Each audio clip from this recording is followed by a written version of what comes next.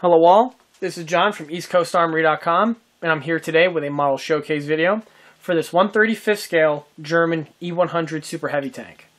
The following model that you see here was built for commission by a private collector. As I said in a previous video that I, from time to time I take on commission builds from model tanks ranging from 135th scale as well as up to 1 6 scale for pricing information and timeline as well as availability. That information would be best by contacting me direct through eastcoastarmory.com. A quick walk around the model.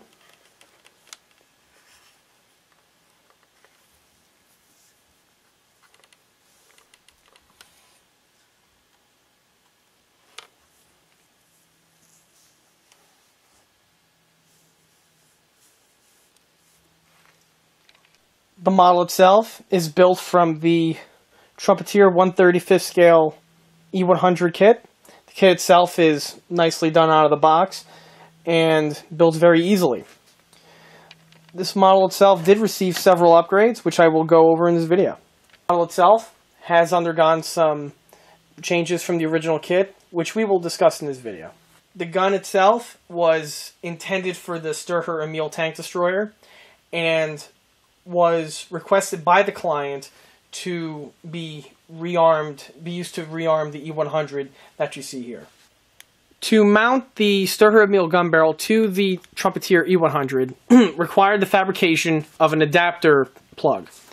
The adapter plug replaces the plastic adapter plug that would originally be used to mount the kit's 120 millimeter gun to the mantlet. That adapter plug would be hidden underneath this mantlet here. the Emil's barrel ends right at this point here.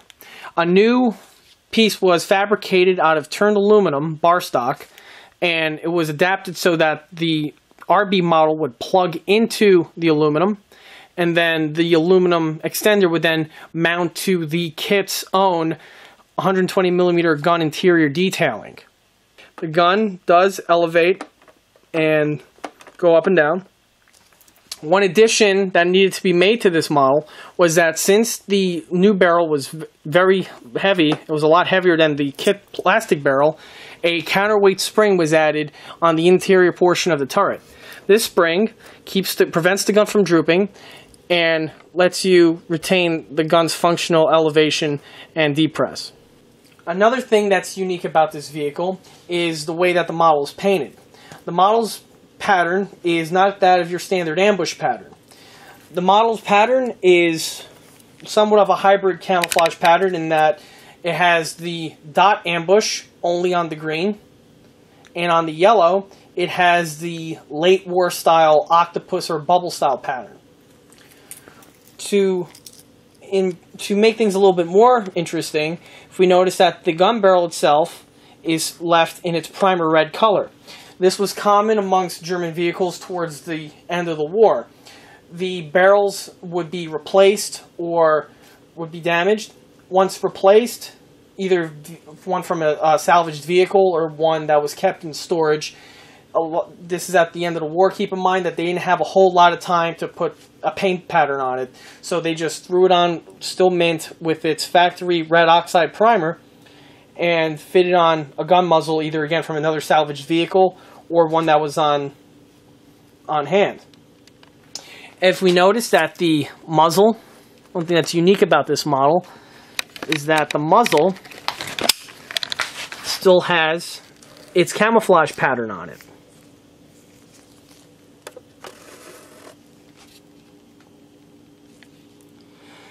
This feature breaks up the, the model's paint pattern in that you have you know all this camouflage going on over here with the main body and the turret. Then you have the red barrel, which gives your eye a little bit of rest, and then it's capped off with the octopused up gun muzzle. Another modification that was made to the vehicle was the way the turret mounts to the lower hull. The Trumpeter kit is designed that the turret has no locking system for mounting the top, for mounting the turret to the lower hull it's actually just designed to just sit there, either to be glued in place or just to have gravity just holding it onto the vehicle. I never really liked that system. So on this model, I went ahead and redesigned the locking system to that of more of a traditional plastic model. To make the locking system, I modified the hull but by carving out two small notches with a needle file. And on the underside of the turret, I added two Plastruct angles. These angles act like the turret locking tabs that you see on pretty much most common on 135th scale in any armor modeling kit. Also, as of note, here's we have the shot of the interior. Here's the basic gun breech detail. Now, since this model has closed hatches, there was no point on super detailing the interior. And it also gave me a place to anchor the tank's counterweight spring. That spring there was mentioned earlier is what prevents the gun barrel from drooping. With the tabs engaged, the turret will spin freely and smoothly and will not be able to fall off the tank's hull. Another modification to the tank that was made was the way the tank's night infrared scope mounts to the cupola. The kit wants you to keep the cupola commander hatch open and mount the infrared scope on the inside of the cupola. However, since the model is going to be uh, built with the hatches closed, I decided to change the way the, the IR scope mounts. Rather than mounting it on the inside of the cupola, I fabricated the missing machine gun ring that we see here. On Panthers and on Tiger 2s, the cupola had a machine gun ring mounted to it so that the tank's uh, MG34T would be able to swivel and change its arc of rotation. On Panthers and Tiger 2s fitted with the IR scope, the IR scope would be fitted to this machine gun ring. So it was only natural to fabricate the ring out of brass to mount the kit supplied IR scope to it. Kit supplied IR scope is very detailed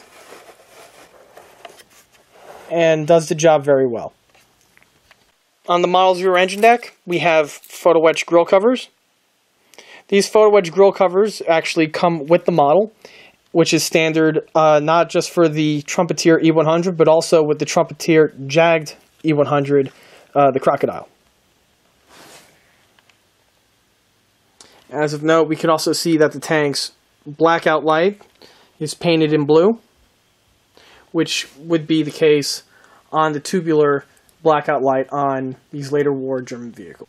Another feature that I built into this model is that the spare turret track links are not permanently glued to the turret. They are only fitted to the tank's track racks that come with the kit. I did this in case the owner wanted to shift around the spare track links to better suit his own needs the links just simply drop in and lock and lock on. With the client's model, he also requested to have ammunition made that would accompany his piece. The ammunition here is chambered for the Sturer Emil, and since th this is also because the tank has been rearmed with the Sturer Emil's main gun. The shells that you see here are from the aftermarket manufacturer Aber. The rounds themselves are all made out of real metal. The shells are turned brass, and the actual warheads or projectiles themselves are made out of CNC aluminum. While I was working on the client's model, I had the same kit in my stash. So while working on it, I decided to build one for myself as well. My model here is the same trumpeter kit as the one that was built for private commission and received the same modification in regards to the turret clamps. However, this model is purely built out of the box. This here is the kit supplied 120mm gun.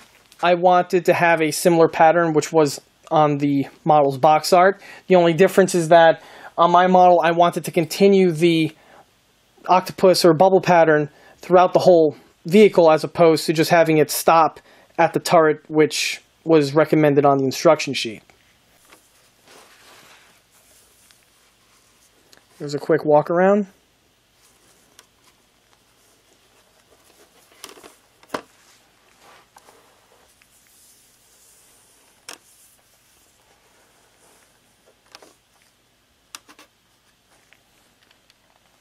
In addition to the the turret locking system, this model also received the same modification to the tank's cupola that was discussed on the other vehicle.